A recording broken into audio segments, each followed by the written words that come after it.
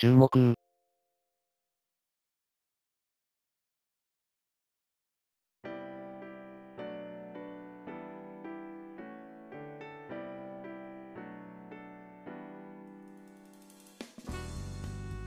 ゆっくりしていってね。さて、今回はマスコミ問題なので私がやっていくぜ。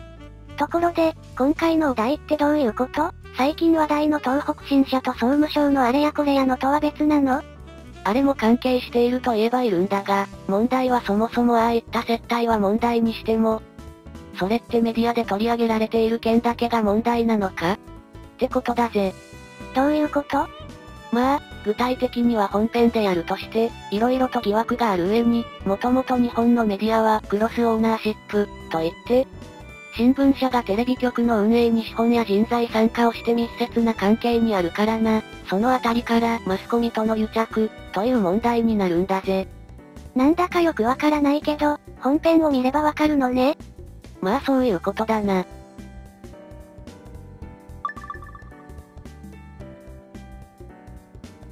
それで、この総務省接待問題って最近テレビや新聞で騒がれてる。菅首相の息子が社員を務める東北新社が、総務省官僚に接待をしていたという関係の件よね。そうだぜ。発端はこの文春の記事だな。記事によると、衛星放送事業などを行う東北新社に勤める菅総理の息子から、総務省の官僚4人が1人4万を超える接待を受けていたという話を、文春が報じて大騒ぎになった件だぜ。ちなみに、なぜこれが問題になるかというと、人1万円を超える食事をおごってもらったりした場合、国家公務員倫理法に抵触するためで、これは後の調査などで実際に起きた出来事と判明しているぜ。つまり、放送事業で総務省と利害関係にある東北新社が、何らかの口利きをしてもらうために菅首相の息子を通じて総務省の官僚に接待をした疑惑ということね。まあそうなるな。そして次のこの記事を見ると、どうも放送事業では外資比率が20%を超えてはいけないそうなんだが、東北新社は外資比率が20%を超えていたにもかかわらず、総務省から放送事業の認可を受けていたそうで、このあたりも問題になっているぜ。つまり、東北新社は口利きというよりこの外資比率の件でおめこぼしをしてもらうためだったということ？それだけじゃないっぽいが、まあこのあたりは今後の続報次第だろうな。そして次はこれ。また文春の記事なんだが、どうも総務省の官僚が NTT の関連会社が運営するレストランで、NTT の社長や幹部社員から時に1人10万円を超えるような高額接待を受けていたようだと発覚したんだぜ。これの場合、NTT は何目的だったの？それは具体的にはわからんが、ちょっと心当たりがあるから後で憶測でよければ話すぜ。今回の本題にも関わることだしな。なんか釈然としないわね。それに、この接待が今回の本題ではないのよねそうだぜ。だって、これじゃマスコミとの癒着ではないから、私が担当しているマスコミ問題とは別件になるぜ。まあ確かに、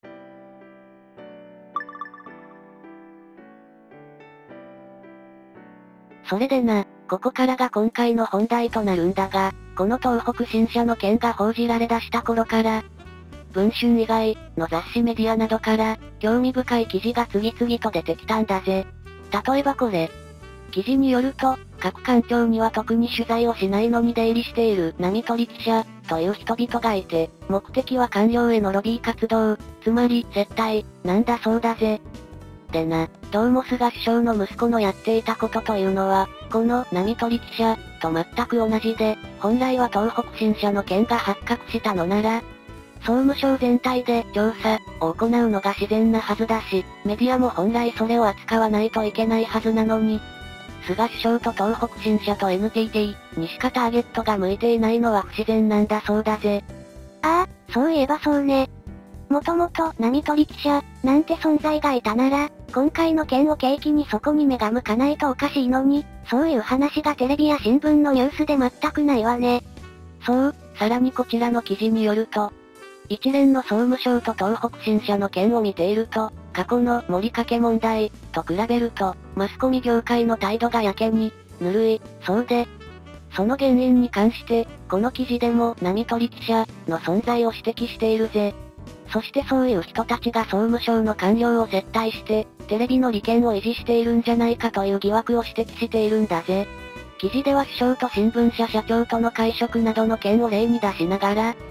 権力の監視者を名乗るテレビ局や新聞社が権力にこびているとしているが、実態はこれとはちょっと違うような気がするんだぜ。どういうこと？まあまあ、それは後で詳しくやるぜ。その上で次にこの記事を見てくれ。記事によると、元 TBS の記者で現在立憲民主党の杉尾秀哉議員が、国家公務員倫理法が平成11年に、できてからどのように厳しくなったかはわからないが、とした上で、テレビ局の幹部は総務省幹部と会食をずっとしている。私も実際に会食に立ち会ったこともある、と証言しているんだぜ。さっきの新潮やダイヤモンドの記事などと総合すると、過去国家公務員倫理法ができる前からあった波取記者という悪臭が、現在もそのまま続いているので、各マスコミは菅首相のスキャンダルということで終わりにさせたいように見えるわね。まあそんなところだろうな。ちなみに、この杉尾氏の証言を取り上げたのは、産経以外でウプ主の確認できる範囲ではトースポとスポーツ報知と日韓現代のみ、どれだけこの問題の闇が深いかわかるだろ確かにね。でもあくまでこれは証言でしかないし、疑惑以上にはなれないわよね。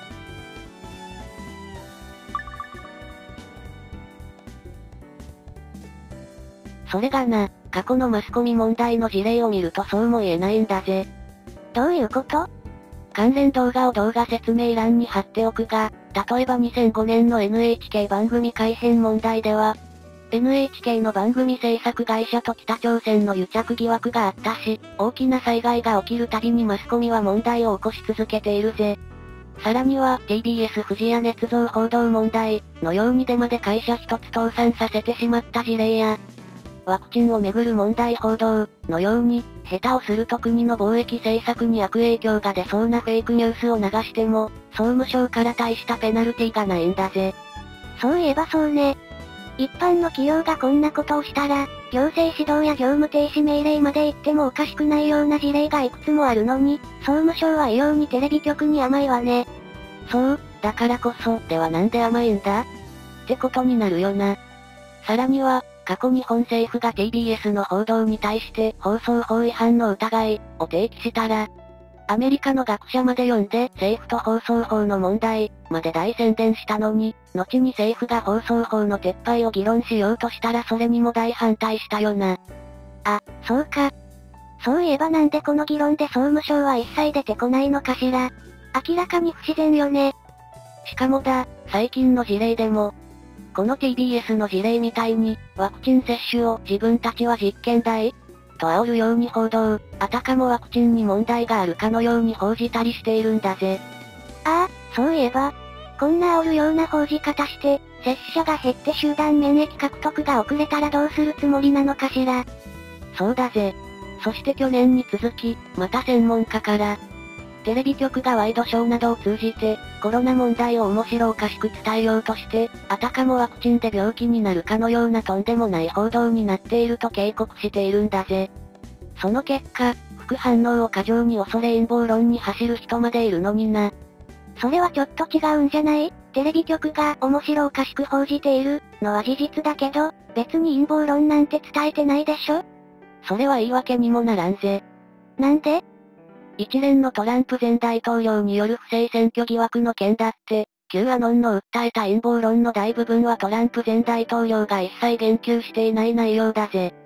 でも、ああいった陰謀論は明らかにトランプ大統領の言動が引き金になっているから、少なからずトランプ前大統領にも責任があるんだぜ。そしてワクチンをめぐる陰謀論にもこれは同じことが言えて、面白おかしくワクチンの危険性を煽ったマスコミには、少なからずワクチン陰謀論を助長した責任があるってことだぜ。ああ、なるほど。トランプ批判をしているマスコミに、ワクチン問題で同様の批判が来るのは当然のこと、というわけね。その上でな、こんなありさまのテレビ業界がなんで総務省から何も言われないんだ？さっきレイムも言ってたが、普通なら行政指導や業務停止命令が出そうな事例でさえ何もない、だぜ。強いて言うなら TBS の富士屋事件の際に総務省から TBS が注意された程度だぜ。確かにこれは不自然極まりないわね。それとな、さっき紹介した記事ではテレビ局が政府にこびている、みたいな話だったが、こういう状況を見るにそんな構図じゃなくて、総務省とテレビ局が、主がテレビ局で銃が総務省、という関係なんじゃないかって勘ぐりたくなるぜ。しかもその、主、が、水戸黄門のふり、をしているのが現状ってことね。そういうことだぜ。しかもクロスオーナーシップの影響で、新聞社もテレビ局のこういう問題にほとんど触れようとしないと。なぜか産経だけ触れてたけどな。それでな、ここからは真に受けず単なる憶測や寝言として聞いてほしいんだぜ。ああ、最初の方で言ってた件ね。最初の文春報道から始まった一連の菅内閣と総務省関連不祥事、なんだが、あれで名前の出た企業が東北新社と NTT のみ、という内容を見て、ピンときたことがあるんだぜ。今から10年以上前、ちょうどアナログ放送が終わり地デジ化云々という話が出てきた頃のことなんだが、地デジ化に伴い地上波への新規参入、という話が持ち上がってな、その時に名前が挙がっていたのが東北新社と NTT なんだぜ。それでな、あくまでもしかして、なんだが、放送法の撤廃やテレビ放送とネットの一元化などに関連して、NTT と東北新社の地上波参入の話が今でも進んでいて、今回のつながりって、それ、なんじゃないかってことだぜ。普通に考えれば、この問題を扱えば必ず、波取り記者、の話題が出てくるのだから、本来テレビ局や新聞社にとってリスクでしかないにもかかわらず、あえて、この問題を政権批判、として利用した件が不自然だしな。ちなみに、TBS は毎日新聞と資本関係こそないが、人的な交流はかなり活発だぜ。なるほど、でもこれ説にすらなっていないわよね。証拠が一切ないし。まあな、だからあくまで根拠のない憶測に過ぎないんだぜ。あくまでなぜ不都合な情報まで出てしまう話題を、あえてマスコミが触れたのか、という疑惑に関する憶測の一つ、でしかないからな。そんなわけで今回の本編はここで終わるぜ。ご視聴ありがとうございました。お疲れところで、もう4年くらい前に EDC ドラゴンって塗料重くの魚の話題あったの覚えてる？ああ、なんとなく覚えているわ。確か値段が30から50万円くらいするのよね。でね、実は同じくオーストラリアに住んでいる禁煙種でリーフィーシードラゴンという種がいるんだけど、これね、販売価格が300万円以上なんだそうなんだよ。たっか、ファミチキ何個分だ？なんでファミチキ基準なのよ。その理由は、まずこの魚は IUCN のレッドリストで準絶滅危惧種とされていて、オーストラリア政府は研究目的以外での捕獲を禁止している上に、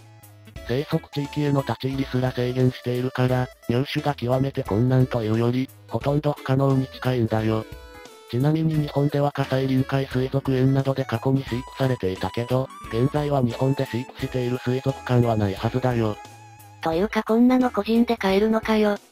十数年前の記録とかで販売していたものがあるから、買えるんじゃないかな。ただし、飼育環境を揃えるだけで100万円以上かかる上に、吸い込めるサイズの小さい息へ、しか食べず光にも敏感だそうだから、よほどの知識と暇がある金持ちじゃないと無理だろうけどね。ちなみに、VDC ドラゴンはたまに日本でも出回るらしいけど、飼育条件は同じだから同じく普通の人が買うのはまず無理だろうね。一般人が飼えるような生き物ではないことだけは確かね。そんなわけで今回はここで終わるぜ。また来週。